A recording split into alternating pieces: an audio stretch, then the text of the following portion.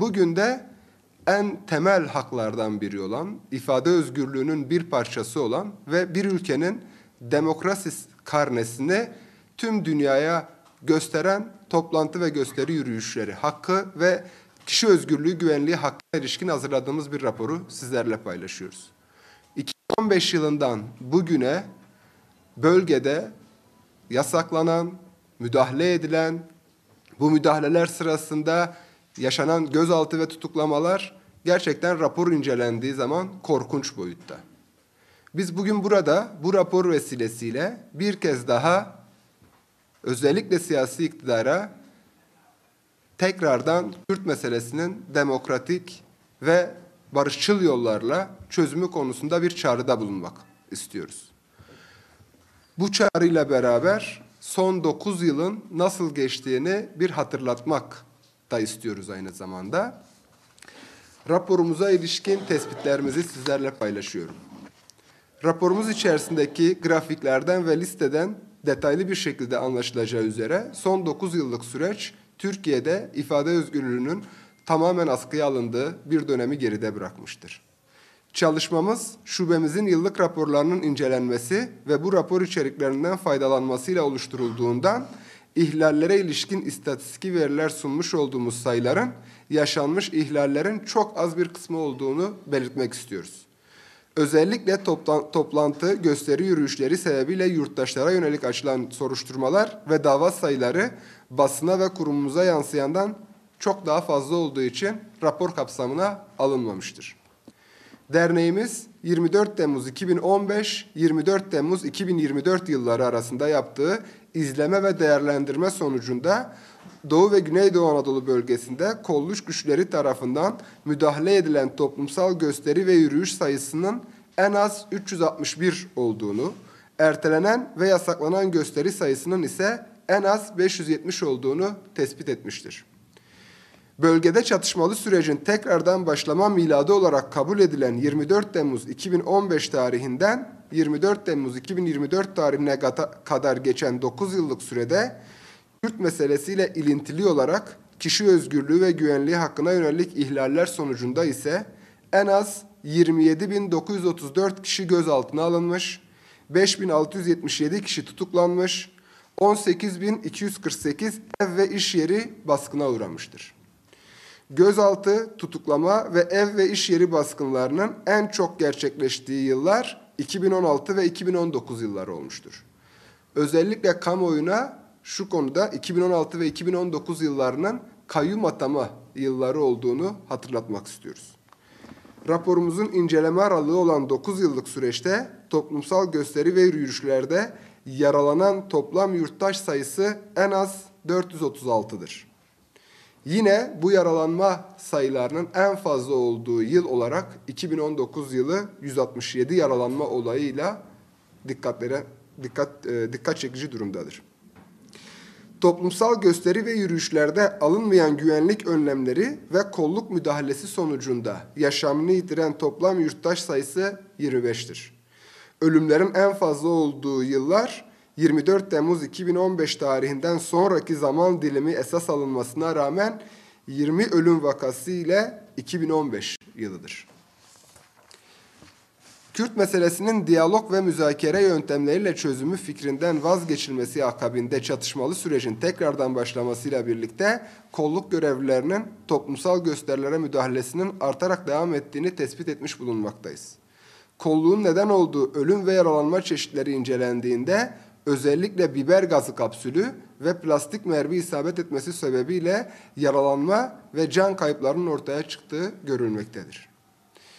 2020 ve 21 yılları arasında dünya genelinde yaşanan COVID-19 salgını nedeniyle başlatılan pandemi sürecinden dolayı toplumsal gösteri ve yürüyüşler çoğunlukla gerçekleştirilememiş veya gerçekleştirmek istenen eylem ve etkinlikler şehir valiliklerince yasaklanmıştır. Bu sebeple bu yıllarda veriler oldukça düşüktür. Ancak yine bu dönemlerde bölgede yaşanan gözaltı ve tutuklama kararları nedeniyle kişi özgürlüğü ve güvenliğine yönelik ihlaller devam etmiştir. Tespit etmiş olduğumuz bu vahim tabloya karşı talep ve önerilerimizi sizlerle paylaşmak istiyoruz. Türkiye Cumhuriyeti Anayasası ve medeni siyasal haklara ilişkin uluslararası sözleşme, Avrupa İnsan Hakları Sözleşmesi dahil Türkiye'nin onayladığı uluslararası sözleşmeler tarafından korunan toplantı ve gösteri yürüyüşü ile kişi özgürlüğü ve güvenliği hakkına her koşulda riayet etmeli. Bu bakımdan devlet negatif ve pozitif yükümlülüklerini yerine getirmelidir. Olağan dönemlerde idari amirlere toplantı ve gösteri özgürlüğünü süresiz biçimde yasaklama ve diğer olağan dışı kısıtlamaları uygulamaya imkan veren mevzuat hükümleri iptal edilmelidir. Kamu otoritelerine mevzuatta özellikle de 2911 sayılı kanunda toplanmaların yeri ve güzergahına yönelik makul olmayan kısıtlamalar getirmesine imkan veren hükümlerin iptal edilmesi gerekmektedir. 2911 sayılı kanun, Türkiye bakımından bağlayıcı olan ve güç kullanımının ancak son çare olarak gereklilik, orantılılık ve kanunlik ilkeleri çerçevesinde sıkı biçimde uygulanmasını gerektiren uluslararası standartlara aykırı olarak düzenlenmiş, barışçıl gösterilere yönelik güç kullanmasına izin veren hükümler yasa metinleriyle çelişmektedir. Toplantı ve gösteri hakkının özüne müdahale niteliğinde olan ve hakkın kullanımına yönelik makul olmayan kısıtlamalar getiren tüm keyfi uygulamalara son verilmeli, var olan mevzuat Türkiye'nin taraf olduğu uluslararası kurallara uygun hale getirilmelidir. Kamu otoriteleri tarafından barışçıl gösterileri olumsuz söylem, karalama kampanyası, kriminalize etme, yargı ve idari baskı yoluyla damgalanma ve marjinal, marjinalleştirme politikalarından siyasi iktidarın vazgeçmesi gerekmektedir. Kolluk görevlilerinin aşırı güç kullanması nedeniyle oluşan ihlallerin etkili, şeffaf, tarafsız, kapsamlı ve hızlı yürütülecek soruşturmalarla fail kolluk görevlerini koruyan cezasızlık politikalarına son verilmeli. Failler gerçekleştirdikleri ihlaller nedeniyle hesap verilir kılınmalıdırlar. Türkiye'deki toplantı ve gösteri özgürlüğünü geliştirmek için sivil toplum aktörleri ve insan hakları savunucularının düzenli olarak bir araya gelmesi, sivil toplum aktörlerinin ve insan hakları savunucularının ilgili karar alıcı süreçlere anlamlı biçimde katılımı sağlanmalıdır. Kişi özgürlüğü ve güvenliği hakkının kullanımı önündeki engellerin ortadan kalkması için yargı bağımsızlığı ilkesinin sıkı kurallarla işlevsel, işlevsellik kazanması gerekmektedir. Son olarak Türkiye'nin taraf olduğu Avrupa İnsan Hakları Sözleşmesi gereği yargı yetkisini kabul ettiği Avrupa İnsan Hakları Mahkemesi kararlarının iç hukukta uygulanması gerekmektedir. Siyasi iktidar temsilcilerin temsilcilerinin bu kararların uygulanmaması yönündeki açıklamaları yargı bağımsızlığı ilkesine zarar verdiği gibi kişi özgürlüğü ve güvenliği hakkının da açık ihlalini oluşturmaktadır. Bu tablo yine 9 yıldır Türkiye'nin insan haklarından, demokrasiden, adaletten ve barıştan uzaklaşmasının bir faturası aslında. Şimdi yine bu sorunun çözümsüzlüğünün e, ne olacak günlerini yaşıyoruz. Türkiye önemli bir yine kavşakta. Bugüne değin Kürt sorununun demokratik ve barışçıl çözüm için eşit ve özgür bir arada yaşamak için ve bu coğrafyada yaşayan herkesin insan olmaktan kaynaklanan hak ve özgürlüklerinin anayasal ve yasal bir güvenceye bağlanması için çok önemli fırsatlar yaratılmıştı. Ateşkesinden tutun da e, Türkiye Büyük Millet Meclisi'nde muhatap yaratılmasından, yerel yönetimlerde muhatap yaratılmasından ama ne yazık ki egemen güçlerin iktidarı bu yaratılan bütün fırsatları heba etti.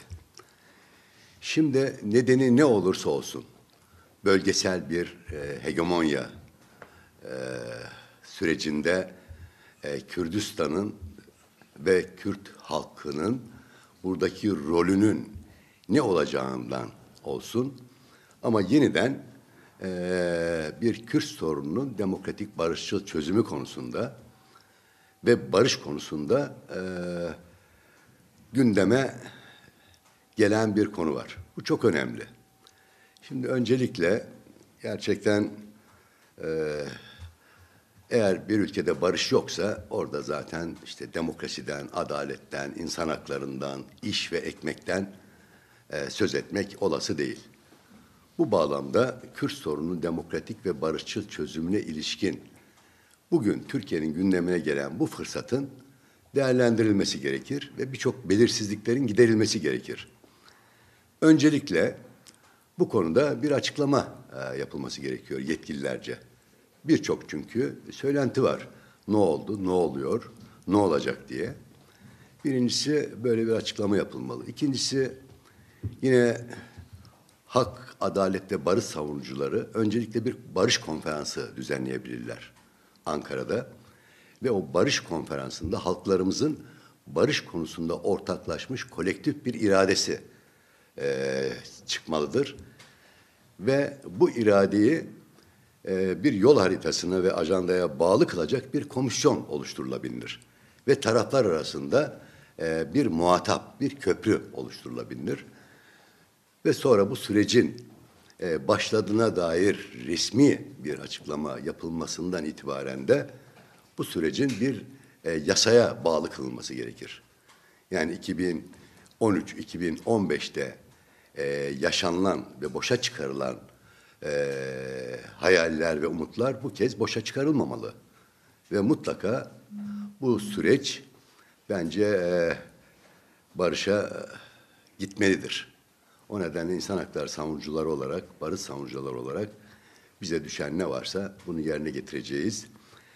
Ve bu konuda samimi e, olunması konusunda da örnekler verilmesi gerekiyor. Derhal e, tecride son verilmeli. Ve PKK lideri Öcalan'ın bu konuda ne düşündüğünün açıklanmasına olanak sağlanmalı. Çünkü o tecrit kapısı demokrasiye ve barışa açılacaktır. O nedenle öncelikle bu olanak sağlanmalı. E, ikincisi siyasi mahpuslar derhal e, serbest bırakılmalı. Hasta mahpuslar derhal serbest bırakılmalı. Ve örneğin bizim bugüne değin belirlediğimiz infazı yakılan ve 30 yılı aşkın cezaevinde yatıp da hala bu sürenin uzatılmasına son verilmeli. 501 kişi.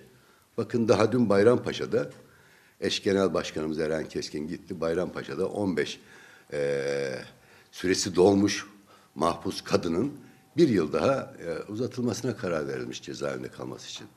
Böylesine bir hukuksuzluk, adaletsizlik olur mu? Derhal e, bunlara da son verilmesi gerekiyor. Ve yani bir işaret verilmeli. E, barışa dair, e, geleceğe dair, samimiyete dair. E, umuyorum ki bu süreç e, hayal kırıklığıyla e, sonuçlanmaz.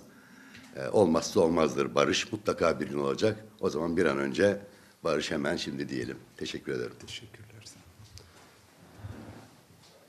Sorularınız varsa alabilirsiniz. Yoksa.